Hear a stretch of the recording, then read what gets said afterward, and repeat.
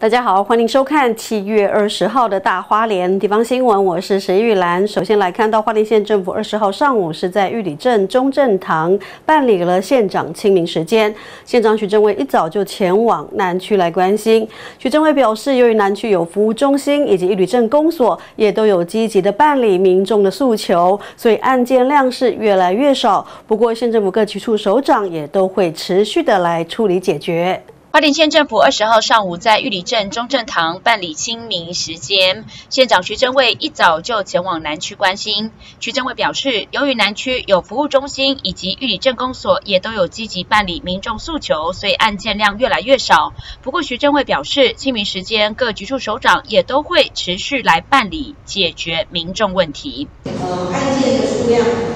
非常，现在已经减到十件以下、五件以下。所以第一个，我想谢谢所有的，但是我想有这么多的局处首长，其实还有非常多的事务要处理。好，所以现在又还有半个小时，我想是是不是就请今天处留几个人在这个现场，那我们请首长都可以先。回到办公室去处理公务。一直以来，透过面对面沟通来解决民众的陈年积案、疑难杂症，以及倾听民众隐藏内心的困难等等，期盼透过清明时间的对谈，拉近民众与政府间的距离，提升为民服务的品质。记者高双双玉里镇采访报道。